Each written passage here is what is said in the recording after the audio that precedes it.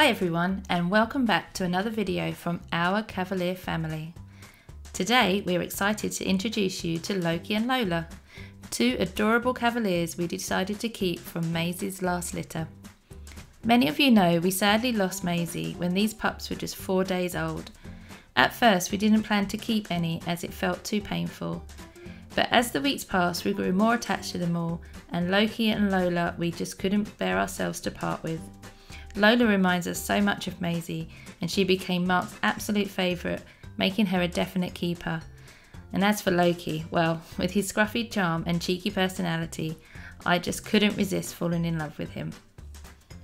Our youngest son Ryan came up with their names, and while walking home from school one day, he suggested Lola, and it felt perfect. Naming Loki took a bit longer though, and as he had a green collar, we tried to think of names to represent it.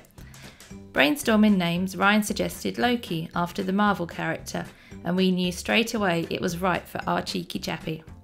Now Loki and Lola are inseparable, like twins in so many ways. They even live up to their names.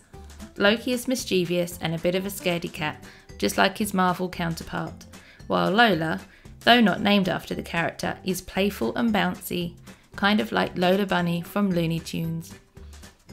We hope you enjoy this reel of clips from their journey from the day they were born to six months old. And be sure to stay tuned for more updates and adventures with Loki and Lola and the rest of our Cavalier family. And as always, if you've enjoyed the video, don't forget to give it a thumbs up. And if you're new here and want to join our Cavalier family, hit that subscribe button and turn on the notifications bell so you never miss an update. See you soon.